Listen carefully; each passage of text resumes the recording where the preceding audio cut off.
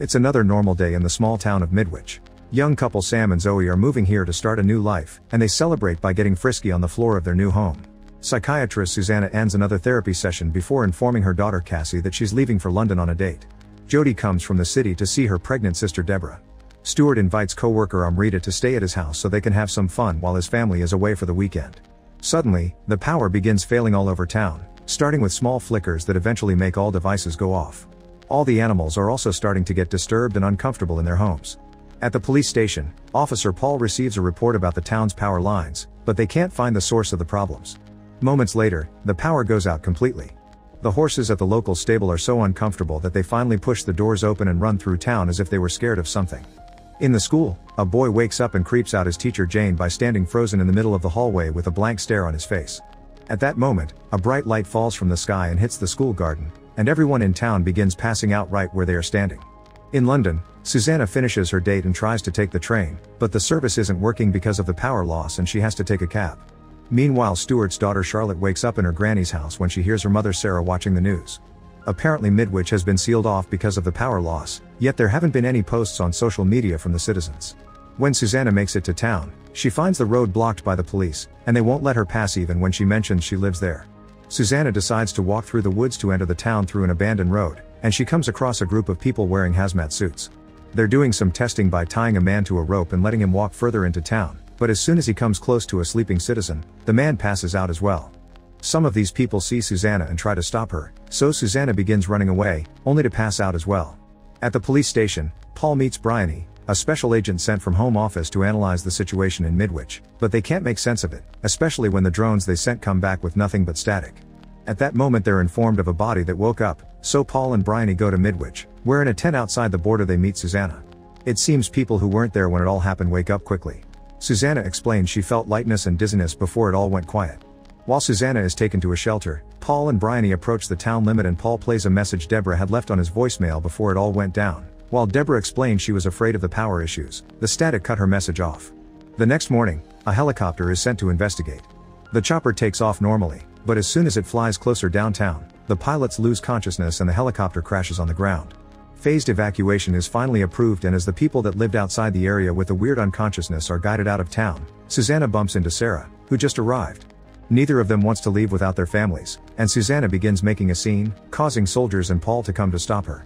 Suddenly, everyone's phone begins receiving messages and calls. It seems people are starting to wake up, and Sarah calls Stuart, who panics when he realizes his wife is back while Amrita's still around. The police begin making preparations for a full investigation and Bryony realizes Paul hasn't gotten a message from his wife yet, so she volunteers to check on her. When Bryony makes it to the house she discovers the sisters are still unconscious because they were knocked out while the gas stove had been on. Bryony manages to wake Jody up with no issues, but when she checks on Deborah is too late, both mother and baby are dead. As families reunite all over town, lots of women begin feeling something in their bellies. Two months after the incident, everyone in town is trying their best to live a normal life. Paul goes to see Jody and guesses she's pregnant, explaining they need to talk about it. Sam and Zoe are very happy because Zoe's pregnant too, but when they go to the hospital for the first checkup, they're shocked to be sent to a building in the back filled with many other women and their husbands. An agent from the government informs them that every woman of childbearing age that was in town during the incident got pregnant that day. Because the Midwich incident is considered a red level threat, Paul wants everyone to sign the Official Secrets Act, but the order isn't well received, especially when they also notice there's a camera recording everything. Zoe tries to call her lawyer and finds signals aren't working here. There are also soldiers arriving to block the exit. Things are getting too tense so Susanna cuts in to mediate the situation, pointing out that all these pregnancies can't be a coincidence. Zoe tries to explain she's the real deal, but the other women share their experiences, explaining some of them hadn't been with a man in a long time or don't like men at all. At that moment, all the town's teenage girls arrive and reveal they're also pregnant, finally convincing everyone to sign the papers so the government can investigate properly. Afterward, the pregnant women are put through some basic tests. While Susanna's waiting outside, she's called by Paul, who takes her to the office to introduce her to Bernard, a higher up from home office. All the agents are impressed by Susanna's handling of the situation and ask her to be the counseling guide for the pregnant women. When the tests are done, Paul takes Jody to live in his house instead of letting her go back to the city. The next day Zoe gets a call from the hospital explaining that none of the fetuses have the father's DNA in them, only the mother's. She's starting to consider terminating the pregnancy but Sam begs her not to, reminding her the doctors told them in the past they only have a 1% chance of having a baby. Stuart gets a text from Amrita saying she's pregnant too. Cassie decides to terminate her pregnancy. She goes to the hospital and meets Nora, who says a friend of hers tried to post about this on social media and the police took it down. The girls are joined by Rachel, and the three of them get ready to sign the termination forms. However, the lights begin flickering and the three women drop their pens to then walk out of the hospital as if in trance. Bryony is watching all this on the security cameras and informs Paul that the same thing happened with all the women that tried to terminate the pregnancy. Five months later, the pregnant women continue to live as usual with the help of Susanna's counseling, although their bellies are bigger than they should be. Bryony receives a mysterious file from Bernard with confidential information about the town of Nordosk in Russia. Zoe tries to leave town on the train, but a mysterious force stops her from moving. She goes to see Susanna and confesses she felt like it was the baby who stopped her from leaving. Suddenly, lights begin flickering all over town, and every single pregnant woman discovers their waters have broken at the same time. Everyone is taken to the hospital, and after a few hours of arduous labor, the babies are born. They look perfectly normal, although Zoe still watches her child with suspicion. Later at night, the babies open their eyes and reveal them to be glowing. For the next two years, families are told to keep living normal lives, but the government forbids them from having contact with the outside world. Zoe's daughter Hannah and Rachel's son Joe look at each other through the window and establish a connection with Amrita's daughter Sunny, who has been living with her mother in the city with the money Stuart sent to them. A few hours later, Amrita and Sunny show up in town to see Stuart, and Amrita explains Sunny insisted on coming. Since the children are growing up very quickly, a special school is prepared for them, and Sam will be their teacher. During the school tour, the lights begin flickering and the children run to the window to see Charlotte is bringing Sunny. The kids immediately go to make a circle around Sunny and offer a school jacket to welcome her into the group. Suddenly Jane's dog begins barking at the kids and tries to go after them, but the kids turn around and stare creepily at the dog to make him stop. Zoe breaks the circle to take Hannah away, and she gets glared at too. At home, Zoe wonders how Hannah knew that girl, and Hannah says they've always known her. Susanna goes to see Amrita to confirm she got pregnant during the incident. Amrita explains to Susanna that she also tried to terminate the pregnancy but in the end she walked away from the hospital. Paul arrives to tell Amrita she can't leave town, but Amrita refuses and tells Sunny they're leaving. Sunny doesn't want to leave though, she wants to stay with all the others, and she proceeds to name every single special kid by name. Moments later, they conduct an experiment where they use a series of images to confirm all the children share a hive mind, so what one of them sees is seen by the entire group. Zoe sneaks into the office to talk to Amrita and tell her about how the government pays them to keep the town in isolation. The women exchange numbers, and Zoe advises Amrita to leave while she can. Later while Zoe is taking her daughter home, Hannah makes her mom stop so they can watch how Jane's dog is retrieved from the creek. Apparently the poor pet is dead, and Hannah smirks at the sight. When they arrive home, Zoe is very spooked, and Hannah tells Sam that he's the only one that loves her because Zoe hates her. Susanna shares the test results with Cassie, who later asks her daughter Evie about it. Evie confirms she can hear her friend's thoughts and that she didn't say anything because she didn't want to scare her mom, but Cassie assures her she'll always be loved. Then Evie finishes a drawing of the dead dog.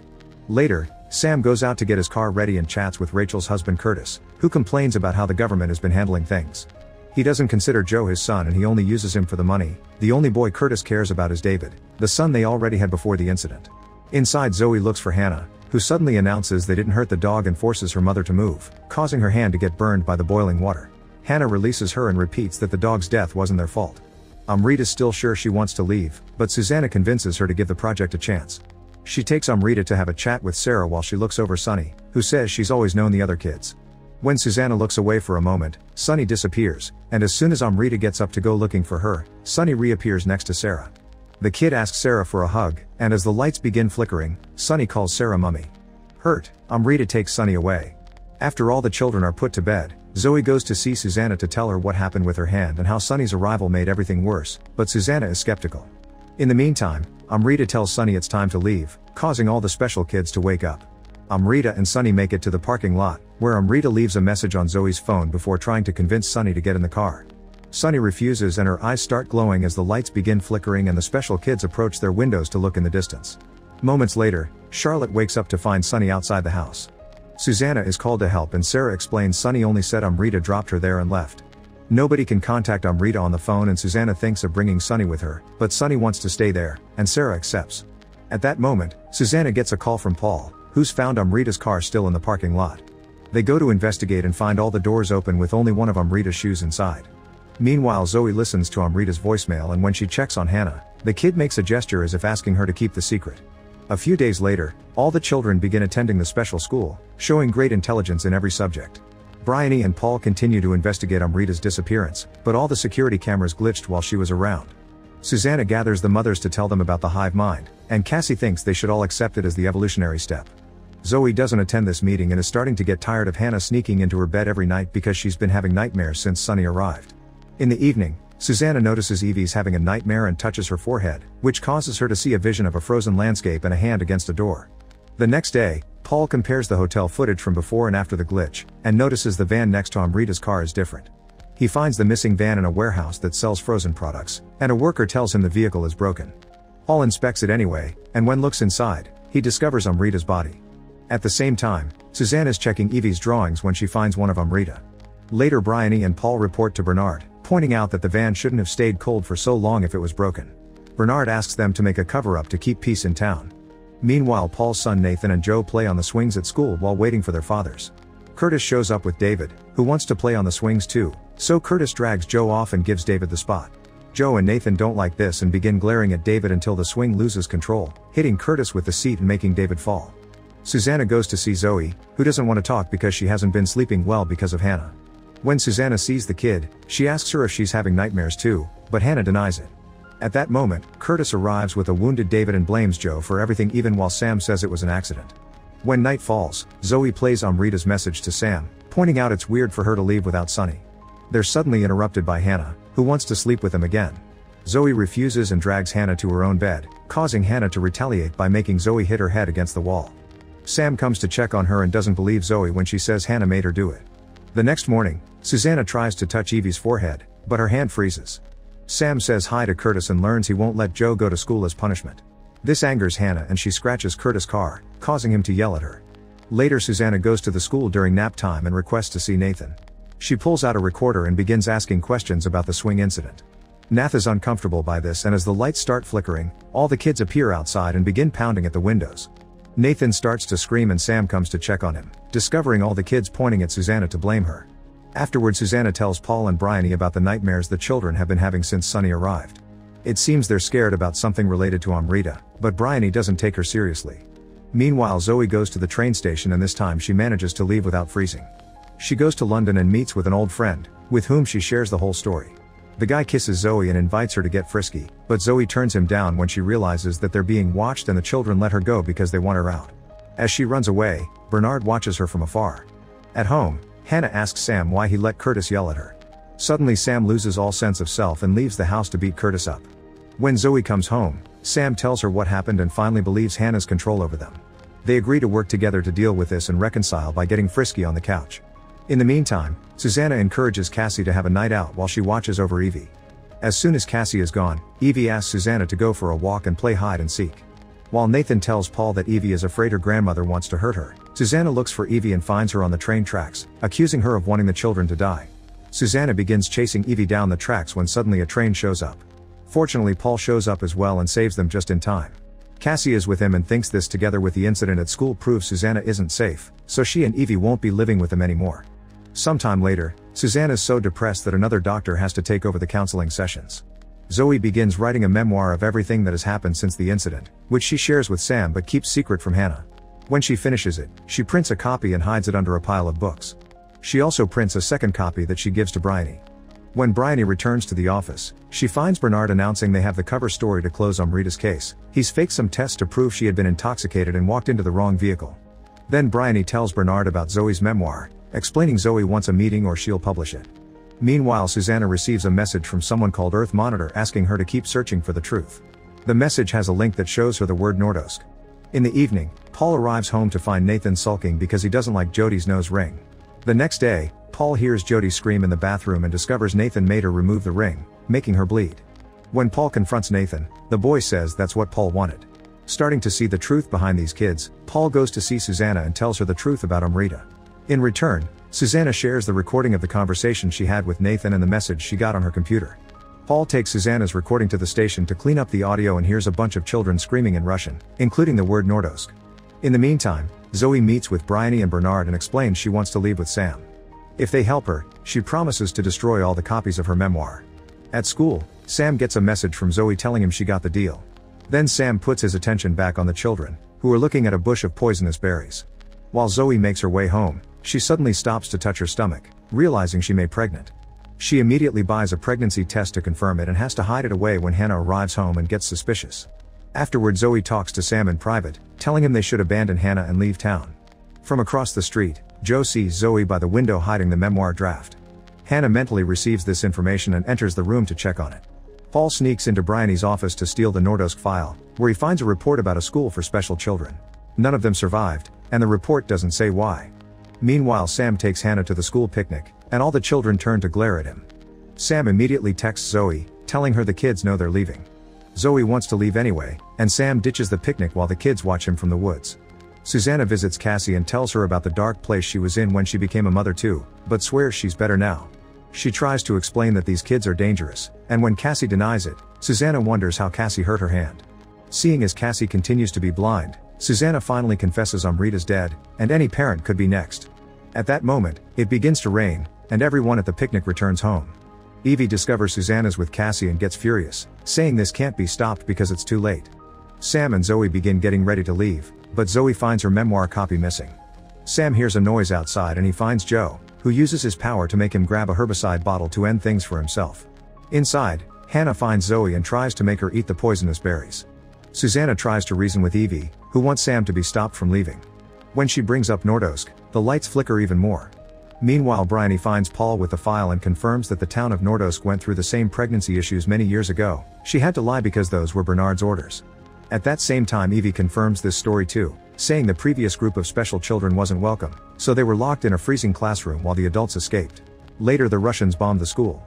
Cassie calls Paul for help and he rushes to Zoe's house, but Nathan knocks him out to stop him. Susanna swears they don't want another Nordosk to happen and promises the kids will be loved forever. Evie says she better keep that promise and sends the message to the other kids, who immediately cancel all the deaths they were about to bring on Sam, Zoe, and Paul. Two years later, the town is living in harmony.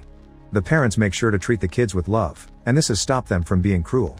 The children have quickly grown into teenagers, and Bernard wants to take them to a military base for more advanced testing.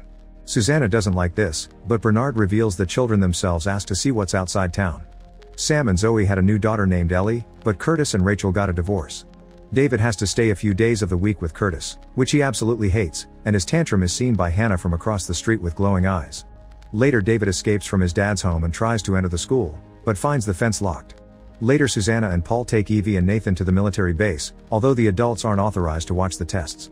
While Evie and Nathan are tested, the lights begin flickering in both the base and the school, and Sam discovers the children aren't in the classroom. Sam goes to look for them, but falls unconscious when he approaches the cellar stairs at the same time everyone is also knocked out at the military base. The power issues cause the school fence to open and David makes his way inside, going down the cellar stairs to discover all the kids are standing in a circle while their eyes glow. Joe sees him and David gets so scared that he runs away, dropping his toy on the way out. At that moment, Sam wakes up and sees David too. At the base Susanna and Paul are woken up by a gunshot, it turns out the kids made the men shoot a fellow soldier. Nobody comments on it though and Evie and Nathan are allowed to go home. In town, Rachel rushes out of the house when she sees David show up, and she's horrified to discover her son's eyes are white. Later at the hospital, Susanna tries to ask David questions, but the child only says the word school. He also keeps having nightmares because before when he tried to escape the school, the kids surrounded him in the forest and deleted his memory. When Paul gets home, he tells Jody about the base only to be interrupted by Nathan. While holding a sharp object, he tells his parents that he doesn't want to leave them. Sam can't stop dreaming about David running from the school and goes to check the stairs, only to find the toy. He shows it to Zoe, who asks him not to go to Paul in order to protect Ellie. At the hospital, Rachel overhears Bernard telling Joe that he let David jeopardize the project. Horrified, Rachel grabs David and leaves the hospital. Suzanne is writing to Earth Monitor explaining the latest trouble when she gets a call from Rachel to warn her about them, but the communication is cut off when Joe finds her missing in the room. All the kids get the information and leave their houses to block the road, so when Rachel shows up in her car, they make her crash, killing her. The next day, Bernard has a meeting with the parents to inform them the kids don't feel safe anymore and they'll be taken away. Nora and Jane are furious because it means the five past years were for nothing. Cassie asks Evie to see reason, but her daughter hurts her by completely ignoring her. Later, Bernard orders David to be kept in the hospital instead of sending him back to Curtis.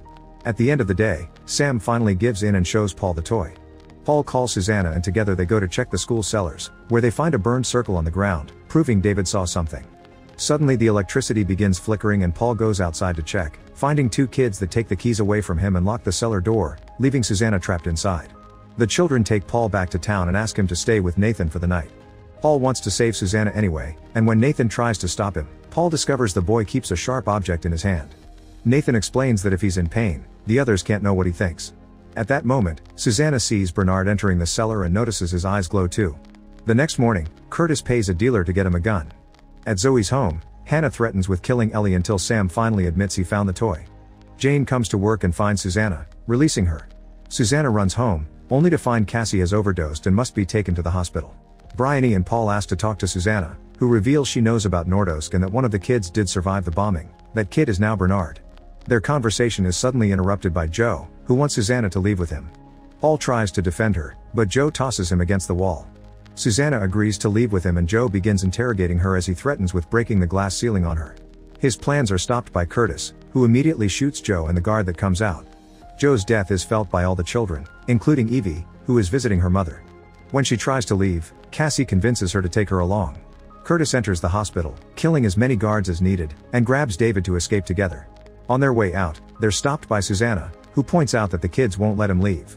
Her point's proven when a bunch of kids show up and try to make Curtis shoot David, but Paul shows up and shoots Curtis first. Afterward Susanna discovers Cassie is gone and gets a call from Evie, telling her Cassie will be leaving with them the next day.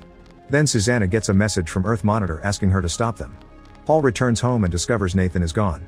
Jody explains the boy didn't want to leave but he had to, and he left a note saying help me.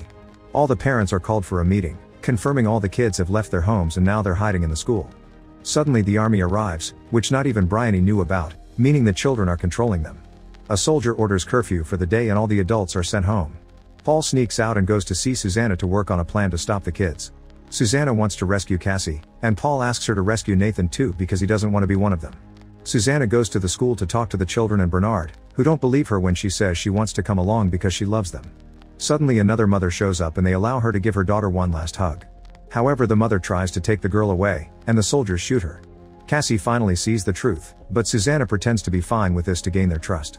She's finally accepted into the group and sent to the basement with Cassie to protect her from an incoming blackout. Before they lock the door Susanna gives Nathan the note he left and asks him to warn Paul. Meanwhile Paul's working on making a bomb.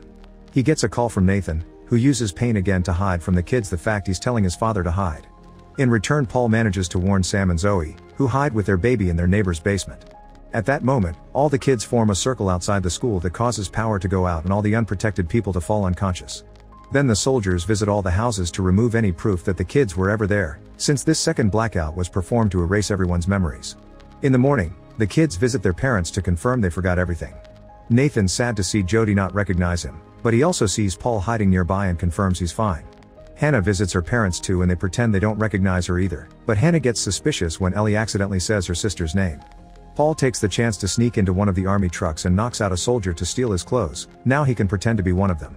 Moments later, Zoe and Sam are getting ready to leave, but they're approached by Hannah again, who wants to punish them for lying. However when she sees Ellie, she changes her mind and asks her parents to keep the secret before leaving. At the school, Susanna sees Nathan return and tells him to run away with Cassie, so the pair escapes through the woods. The soldiers prepare a bus for the children and Paul leaves the bag with the bomb inside. The children notice Nathan is missing and send the soldiers after him, but when Nathan accidentally steps into a bear trap, the pain makes the kids lose track of him. Susanna tells them that Nathan obviously is a danger to the hive and should be cut off, also that she's the new hostage so they don't need Cassie either. The kids see her point and release Nathan from the connection. Moments later, the bus leaves with the kids while Bernard and the soldiers escort them with their trucks. When they make it outside town, Bernard receives a message telling him about the discovery of an unconscious soldier, prompting him to stop the trip to investigate. Paul has no choice but to activate the bomb now, making the bus explode with the kids and Susanna inside. From afar, Cassie, Sam, and Zoe watch the explosion and understand they're finally free. Make sure to subscribe and turn on notifications so you can watch more videos like this. Thanks for watching.